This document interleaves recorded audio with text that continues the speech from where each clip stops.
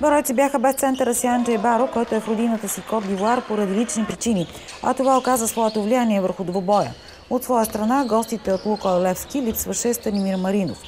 Баскетболистите на треньора Константин Папазов започнаха леко напрегнато и в началото разчитаха предимно на стрелба от тройката, но постепенно намериха правилния ритъм и въпреки силната игра на Александър Янев, който правеше всичко по силите си да държи домакините близо, водеха с 25 на 23 след едната част.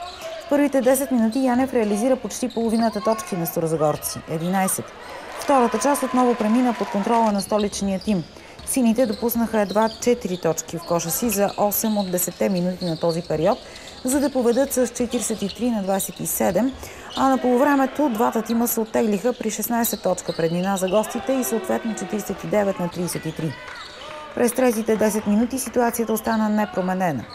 След 30 минути игра, дистанцията между двата отбора бе 12 точки, 65 на 50, в полза на Лукойл Левски.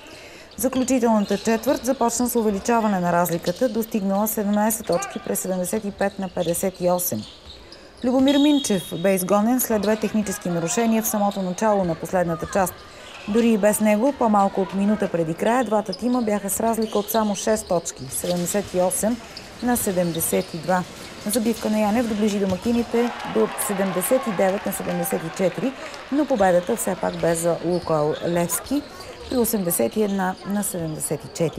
Джастин Нокс вкара най-много за победителите 15 точки.